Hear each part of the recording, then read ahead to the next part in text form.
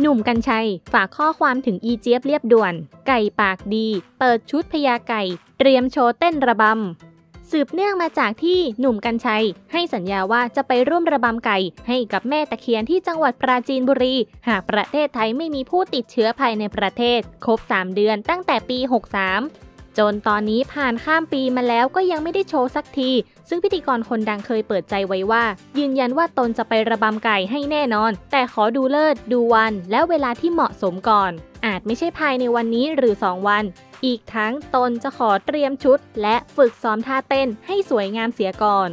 จนเพจดังเพจหนึ่งอีเจฟเรียบด่วนต้องออกมาทวงแล้วทวงอีก ฝากทางรายการโหนกระแสช่วยตามประเด็นนี้ด้วยครับ เรื่องการระบำน้องไก่เห็นเงียบกิบเลย ถือเป็นการไม่รับผิดชอบต่อสังคมอย่างร้ายแรงโดยได้ขยี้อีกว่ารีบออกมาเต้นออกสื่อซะ เรื่องจะได้จบ โดยล่าสุดหนุ่มกัญชัย ได้ฝากข้อความไปถึงเพจดังอีเจี๊ยบเรียบด่วนว่า อยากให้ใจเย็นๆทำแน่นอน แต่ตอนนี้ชุดก็เสร็จเรียบร้อยแล้วอลังการงานสร้างแน่นอน ตอนนี้ยังไปโชว์ไม่ได้ เพราะเดี๋ยวเกิดการรวมตัวคนเยอะๆ เดี๋ยวจะผิดอีก รอสักพักก่อน โควิดซาเมื่อไหร่ไปแน่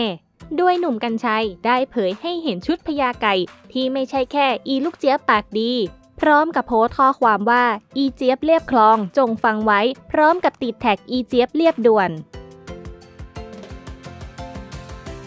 อย่าลืมกดติดตามและกดกระดิ่ง เพื่อจะได้ไม่พลาดคลิปใหม่ ๆ กันด้วยนะคะ ขอบคุณค่ะ